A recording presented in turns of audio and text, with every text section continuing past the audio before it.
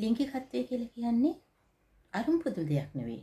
එය අතිශය සාමාන්‍ය දෙයක් හැබැයි ඒ බලන කෝනය ඒ දකින විදිය ඒ හැම දෙයක්ම වෙනස් නම් ඒ ඔබට අරුම් පුදුම දෙයක් වන්නට පුළුවන්.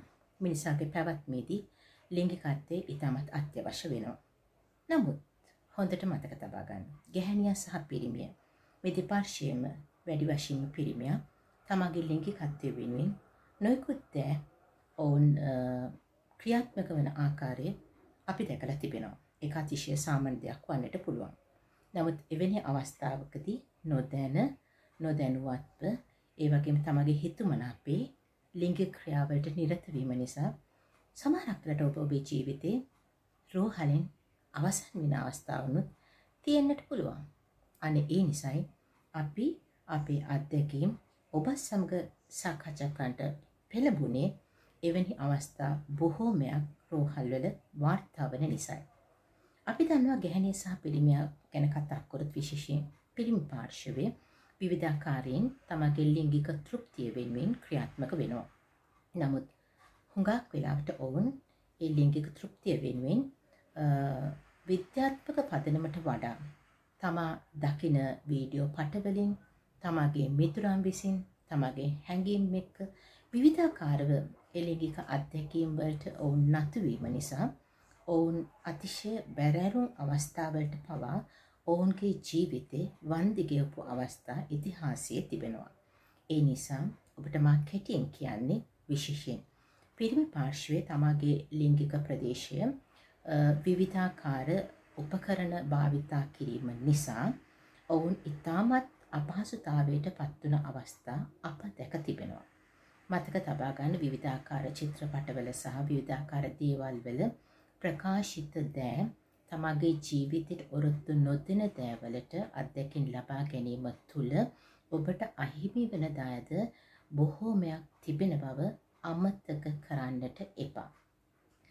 රෝහල් පරිච්චේද තුළ බොහොමයක් පුරුෂ පාර්ශය එවැනි අකරතැබ්යන්වලට මුහුල පාල තියෙනවා. එනිසාමයි මෙය සෞඛ්‍ය අධ්‍යාපනයක් ලෙස වැඩිහිටියෙක් ලෙස ඔබට මේ අත්දැකීම අප ලබා දෙන්නට බලාපොරොත්තු වෙන්නේ.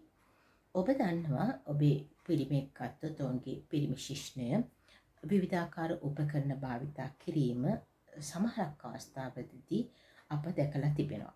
නමුත් අපි දන්නවා කෙනෙක් ලිංගික තෘප්තියට පත්වීමේදී ඔවුන්ගේ සීමාවන් අතික්‍රමණය කිරීමේදී ඔබ භාවිතා කන යම් යම් උපකරණවල සීමාව ඔබට නොතේරෙන කමින් ඔබ ඉතාමත් බරපතල තත්ත්වයට ඔබේ ලිංගික ප්‍රදේශයේ ලක්වෙන්නට හැකියාවත් තිබෙනවා.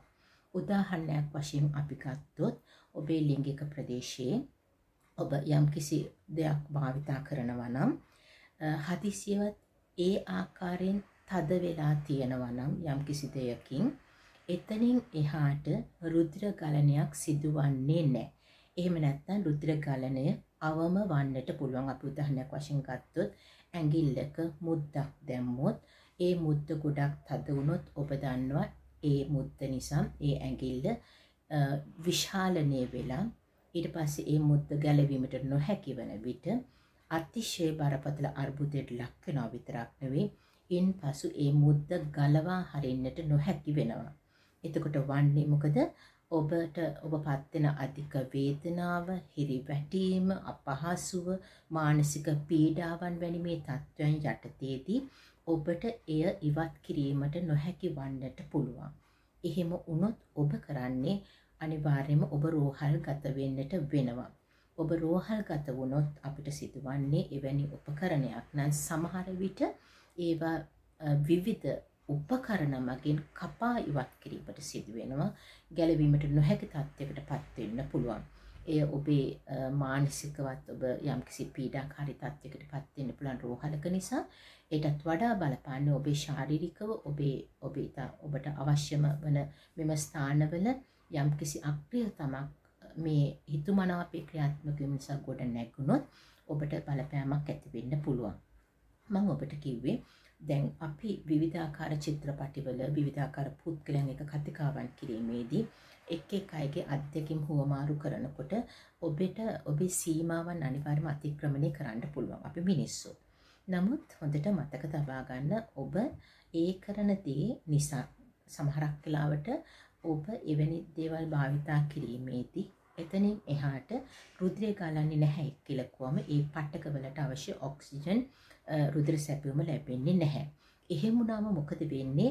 ඔබ ඒ ක්‍රියාවට ලක් කරන ලිංගික ස්ථානය ගැංග්‍රීන් එහෙම නැත්නම් පට්ටක මිය යෑම නිසා සමහරට ඔබ දීර්ඝ කාලයක් ඒ තුල නිරත වීම නිසා අන්තිමට ඔබේ ශිෂ්ණය පවා ඉවත් වීමට කරුණු කාරණා ගොඩනැගින්නට පුළුවන් බව ඔබ තේරුම් ගැනීම වැදගත් වෙනවා.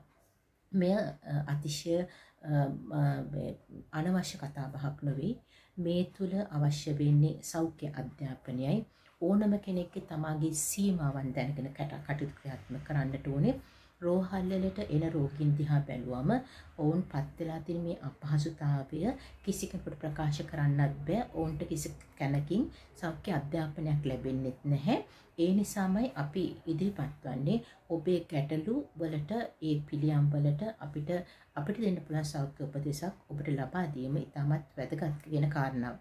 ඒ නිසා එවැනි අවස්ථාවන්ට ඔබ ලක් නොවි ඔබේ තෘප්තිය, ඔබේ සතුට, ඔබේ මානසික ආතති තත්ත්වයන් ලිහිල්වීම, ඔබේ සෞඛ්‍ය වෙනුවෙන් ඔබට ඔබේ ජීවිතයට ඕනම දෙයක් ක්‍රියාත්මක කිරීමට අයිතියක් ඔබට තිබෙනවා.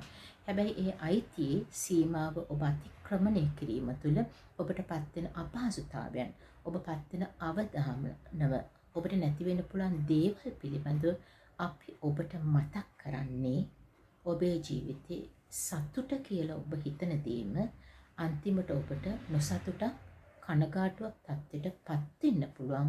ඔබ ඒ පිළිබඳව වෛද්‍ය විද්‍යාත්මකව හිතන්නේ නැතුව ඔබේ සතුට සහ ගිජුකම වෙනුවෙන් පමණක්ම ලිංගිකත්වය ඔබ ආරෝපණය කරගෙන ජීවත් වන්නේ නම් වෙන්න පුළුවන් උවදුරුත් ඔබ දැනුවත්ව ඒ தත්ත්වය මගහරා ගැනීමටයි මේ උපදෙස් අපෙන්. ඒ නිසා ඔබ ඔබේ ජීවිතයේ ලිංගිකත්වයේදී ඔබේ ලිංගික ප්‍රදේශය ඔබට සුරක්ෂිත කිරීමට සහ ඔබේ ලිංගික තෘප්තිය ලබා ගැනීම සඳහා ඔබ ආරක්ෂිත පියවරයන් අනුගමනය කිරීම තුළ මෙවැනි අපහසුතා ඔබට මග හැරගන්නට පුළුවන්. හැබැයි ඔබ යම් කිසි විදියකින් ඔබ මෙවැනි අකරතැබ්බයකට ඔබ ලක්වුවහොත් ඔබ රෝහල් ගත වෙන්න පසුබට වෙන්න එපා. ලැජ්ජාව කියන එක නොවේ වැදගත් වන්නේ ප්‍රතිකාරයයි ඔබ ප්‍රතිකාරය සඳහා වහාම පැමිණ මේ තත්ත්වයෙන් මුදා හැරීම ඒ තත්ත්වයෙන් සහනයක් ලබා ගැනීමට ඔබ ක්‍රියාත්මක විය යුතුයි. නමුත් මතක තබා ගන්න ලිංගිකත්වයේදී ඔබේ සීමාවන් ඔබ ඉවත් වුණ විට ඔබ කුමක්ද කරන්නේ කියලා ඔබ දැනුවත් නොවන අවස්ථාවලදී ඒ බලපෑම ඔබේ ලිංගික ජීවිතයට බලපෑමක් ඇති වෙන්න පුළුවන් නිසායි මේ උපදෙස් අපෙන්